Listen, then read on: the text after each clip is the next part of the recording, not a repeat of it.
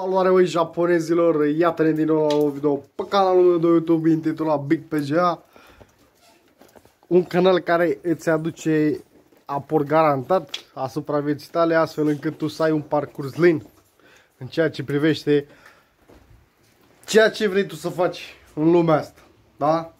Dacă cumva o să ai nevoie de așa ceva să poți să iei unele decizii corecte. Să nu dai bani aiurea și să te enervezi să mai știu eu ce. 10 minute cât o să aibă clipul ăsta sau mă rog, o să fie dedicate pe așa ceva, da? Ei bine, dragii mei, am zis să filmăm aici înăuntru, fiindcă nu putem să filmăm afară că plouă și e nămol și e treaba urâtă. Am zis să vă prezint câteva de detalii și accesorii care le-am mai luat eu și le-am mai găsit despre acest utilaj. După cum bine observați, este Husqvarna. Din clipul trecut uh, știți că este Husqvarna W50P. Am prezentat un clipul acela mult mai detaliat și mult mai frumos, zic eu, dar am păstrat niște detalii pentru videoclipul acesta um, esențiale, zic eu, care nu ne sunt prezentate ori ascunse, ori nu le știm despre ele, da? Nu știu nimic despre ele. Uh, nu am găsit unde este fabricat acest produs. Vânzătorul mi-a spus că ar fi undeva fabricat în China cu motor Lonchin, dar nu am găsit nicio evidență că ar fi un motor Lonchin. Da? E un motor 168 FB pe benzină de 296 de, de 196 de centimetri cubi uh, pe benzină și cam atât am găsit despre el. Uh, și m-am mai găsit cum că Veima ar fi uh, făcut, uh, ar fi certificat acest utilaj din punct de vedere al zgomotului, ceva de genul. Semnat de Husqvarna și apărea locația lor acolo din Suedia. În schimb, nu am găsit pe nicăieri cum că ar fi Made în, eu știu, vreo țară. Ceva ce nu îmi convine. La bujie în spate am văzut, am desfăcut uh, Express să mă uit dacă uh, e sau nu Husqvarna, scrie pe ea Husqvarna și din păcate nu scrie ceva ce nu, nu îmi place, fiind uh, nu-mi place la Husqvarna, evident mă așteptam la altceva. La stil, eu știu, uh, sunt mult mai serios și din punctul ăsta de vedere. Mă rog, stil e și firmă mai, poate mai mare, mai mă rog. Dar în uh, speță este un produs mult mai calitativ decât restul și o să aflați imediat de ce. În primul rând, la filtrul ăsta de aer, are frumos uh, un uh, filtru de pâzlă pe interior, iar la exterior un burete mai uh, un burete cu porozitate mai mică. Ăsta este filtrul. Ia să desfacem fluturile ăsta, să vedeți exact cum e în interior. Nu știu dacă în clipul trecut am arătat, dar față de celelalte tipuri de motopompe, uh, tipul ăsta vine cu o pâzlă la interior exact cu un fel de hârtie să ieșim la lumină naturală să se vadă mult mai bine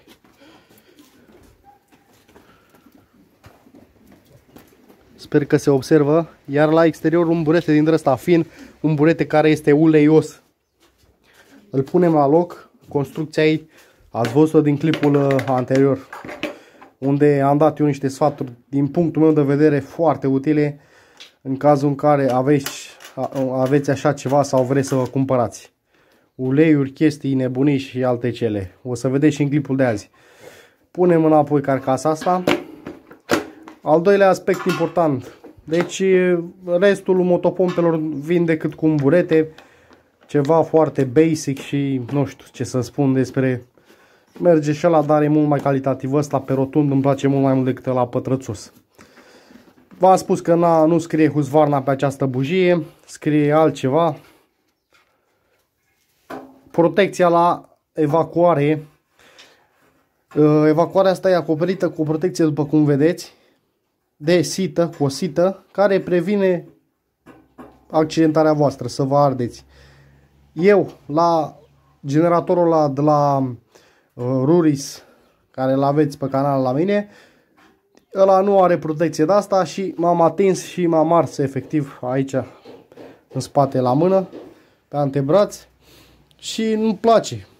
însă și la generatorul la mic vine tot cu o astfel de protecție, la generatorul la 2,8 kW uh, Powered Made by Pramac.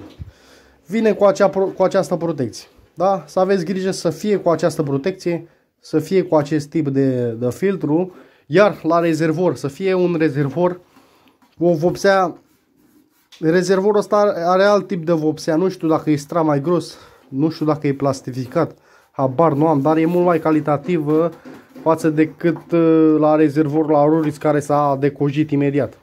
Și, uh, și bușonul este mult mai calitativ față de ăla de la Ruris sau mai știu eu ce. Sau chiar și de la ăla PowerMate. Adică se cunoaște calitatea aici.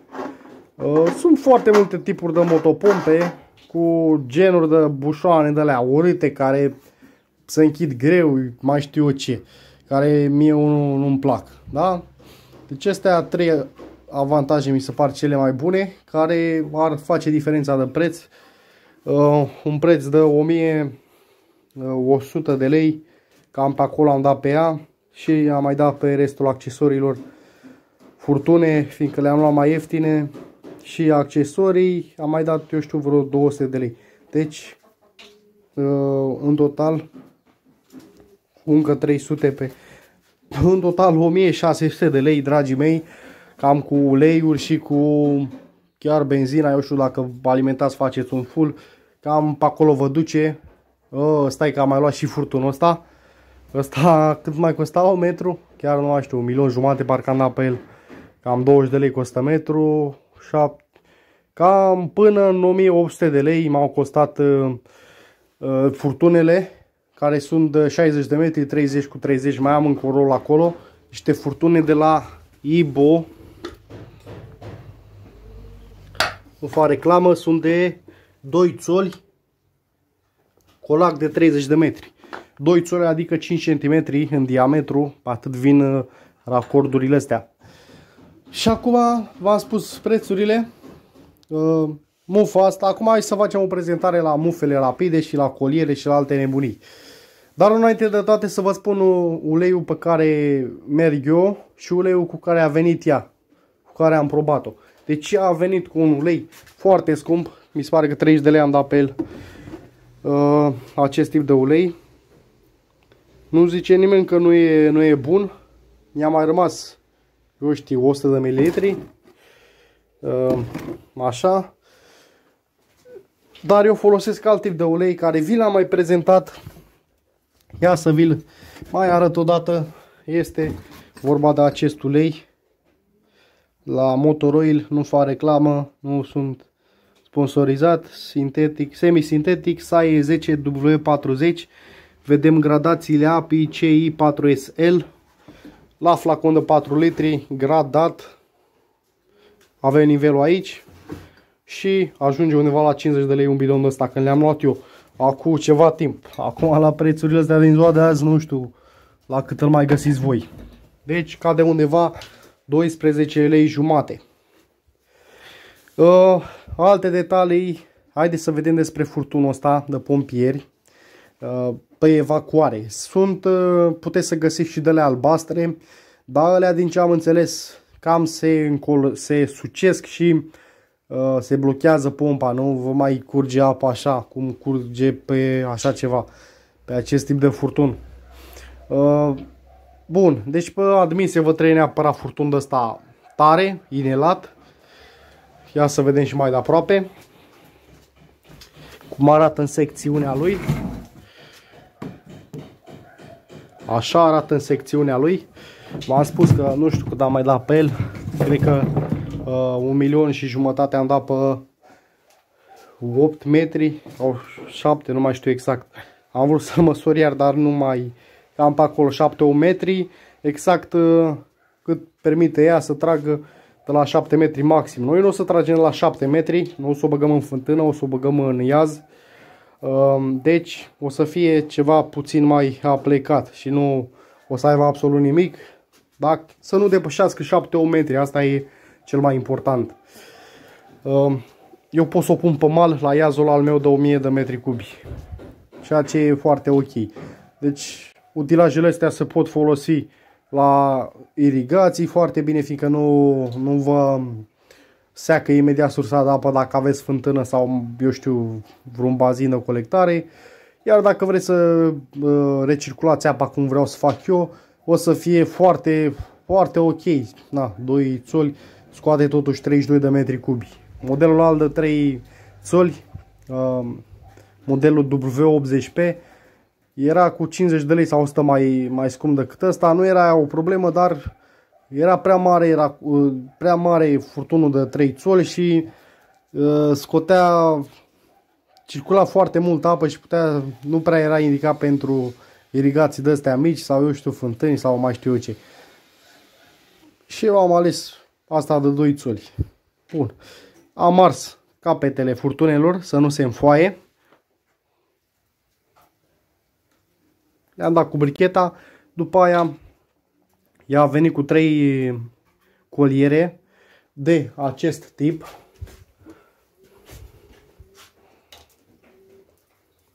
Am arătat și în clipul trecut. Foarte rezistente și foarte late. Unul vine montat aici la sorb. Sorbul este cu clapetă. Deci dă voie apei să intre în utilaj, în pompă, dar nu-i dă voie să coboare înapoi. Ea are încă un sistem de acest gen aici, tot la fel, ceea ce e foarte bine. Se pune inelul aici, frumos, exact pe acele striuri, adică pe aceste striuri, da? Să vină ceva în genul. Să nu-l puneți mai așa sau mai așa, fiindcă nu o să lucreze bine. Deci, unul, un inel vine acolo la sorb, unul acolo, adică aici, la intrarea în pompă și unul la evacuare pus pe prins cu furtunul de pompier, da? Astea sunt niște fittinguri rapide, niște mufe de astea rapide Pur și simplu decât ai desfăcut-o pasta, nu trebuie să răsucești furtunul. După aia l-ai tras la o parte și îl bagi la loc când ai nevoie. La fel ca și alte. Ia să vedem pe viu cum se desfășoară. Puteți să ungeți garniturile din interior cu vaselină. Asta am strâns-o puțin mai tare. Vedeți că nu se mișcă furtunul nu se învârte odată cu ea. Deci, garniturile astea trebuie unse cu vaselină. Filetul ăsta nu, nu trebuie neapărat. Și după aia scoateți furtunul și îl depozitați unde aveți nevoie. V-am spus. Acum să trecem la partea cu uh, aceste mufe de legătură, le zic eu. Um, să vedem cum arată una. Exact așa arată. Cam 40 de lei am dat pe un set, adică gen așa. 40 de lei am luat două, iar acel, acea stropitoare, acel, mă rog, cap care dă jetul și stropește, am dat 60 de lei pe ăla. Sunt două, ia să vedem cum se prind, cum se... Pur și simplu aici vine furtunul, furtunul leagă cele două colace de furtun de 30 și 30 de metri. Așa arată în interior. La fel, trebuie gresate aceste garnituri, să dăm cu vaselină pe ele, nu foarte multă. Sunt mufe rapide de pompieri. Ați văzut? Cum a clipsat foarte frumos. Le-am găsit în Dedeman, în, la scule, era acolo un raft cu accesorii dintre astea de pompieri. Am mai luat niște coliere.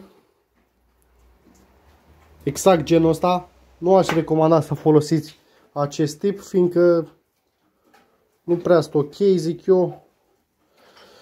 Astea sunt speciale pentru așa ceva. Coliere care prind furtunul uh, din moment ce care prind furtunul de pompieri, dar nu de la turbină, care le prind care prinde furtunul de pompieri exact pe aceste coliere, pe aceste mufe și trebuie așezat tot așa, pe acest canal, nu să fie așezat așa sau așa, fiindcă nu o să vă etanșeizeze bine și o să vă piardă apă, presiune, mă rog. După ce ați băgat furtunul, cât intră, luați colierele și le strângeți în felul ăsta. Exact pe acele canale unde v-am spus eu. Acest uh, robinet este separat, acest știuț roșu. Ia să vedeți cum funcționează, cum se desface. Foarte simplu. Fiind pe mufă rapidă. Deci așa vine el. Și am dat 60 de lei, cam așa am dat pe el.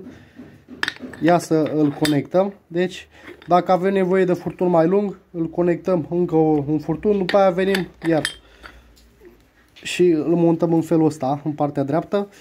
Iar dacă îl strângem, o să ne stropească, iar dacă îl strângem la maxim, o să se oprească efectiv, iar pompa noastră o să aibă de suferit. Deci nu ne dorim să-l avem închis la maxim.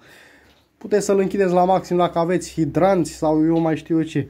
Iar când îl desfacem maxim, el o să ne dea jet. Nu știu la ce distanță, încă nu am probat pe viu să văd exact cum stă treaba.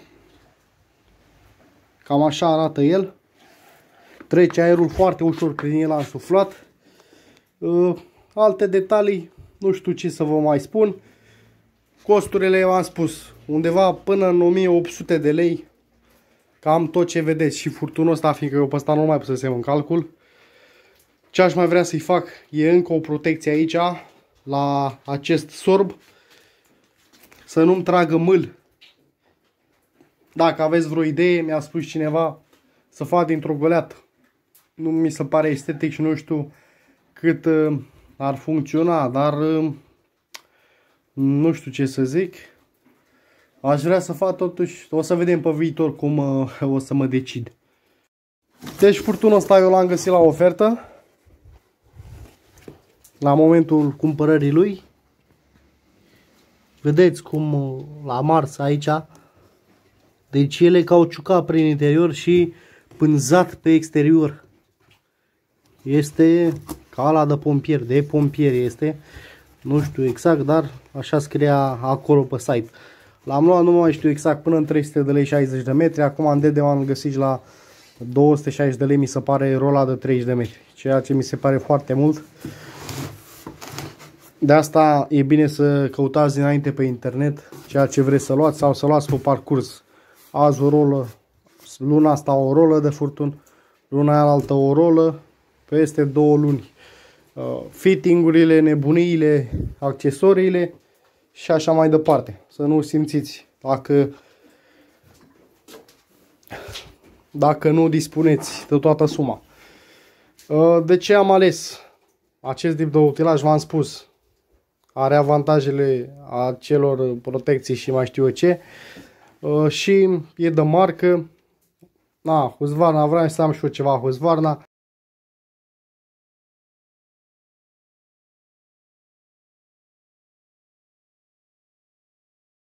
Am găsit o soluție, zic eu, pentru sorb, pentru plasă, pentru sită. Am luat o plasă de asta plastificată cu ochiuri de maxim 2 cm.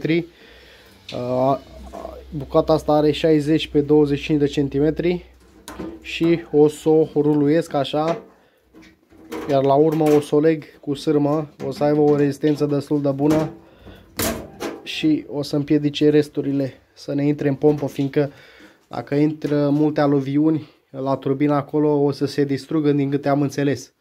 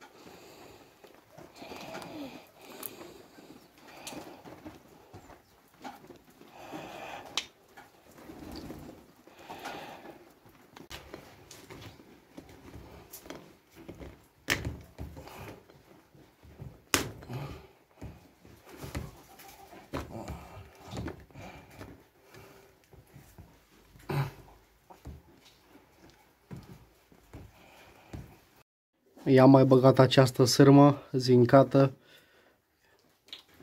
înăuntru lui să-l țină fix, să nu se ducă, eu știu, să-mi scape de pe acest furtun. Cam așa o să arate în final. Destul de ok, zic eu. Nu o să mai intre aluviunile, adică nisip, eu știu, măl, fiind suprafața așa mare. Dacă era de suprafața asta, putea să intre și de la greutate în pământ și să sugă pământul ăla. Acum uh, o să intre, eu știu, cât să intre, puțin și după aia are destul spațiu pe unde să tragă apă, da? Deci nu o să mai avem probleme. Aici, la fel, nu o să poată intra, eu știu, pietre ceva mari și este și acel dop